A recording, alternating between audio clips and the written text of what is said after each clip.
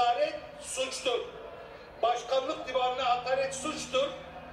Farkı siz burada başkanlık divanına hakaret etmekle anayasaya, iç düzüye ve meclise hakaret ediyorsunuz. Lütfen yerinize oturun. Lütfen yerinize oturun. Sizce size ceza vermek zorunda kalırım. Buyurun. Zorundayım. Evet. Şu anda şu anda bir disiplin suçu işlenmek hepsini evet susmanız gerekiyor. Birleşme beş dakika ara veriyorum ve kendisinin salondan çıkarılmasını idare amirlerinden istiyorum.